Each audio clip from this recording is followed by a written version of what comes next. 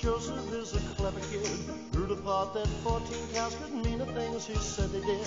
Joseph, you must help me further. I have found a job for you. You shall lead us through this crisis. You shall be my number two. Pharaoh told his guards to fetch a chisel from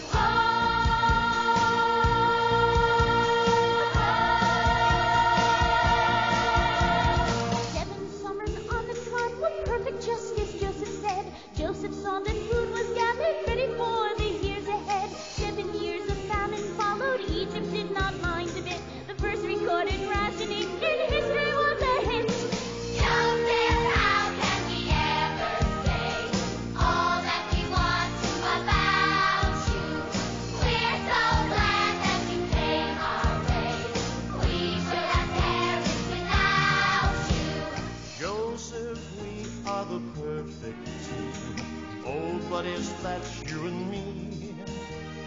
I was wise to have chosen you. You'll be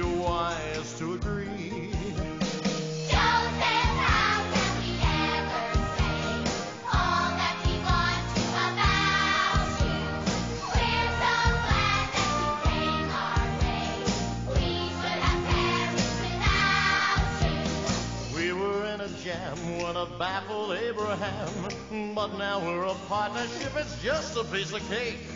Greater than Noah, only goes to show us. Anyone from anywhere can make it if they get a lucky break.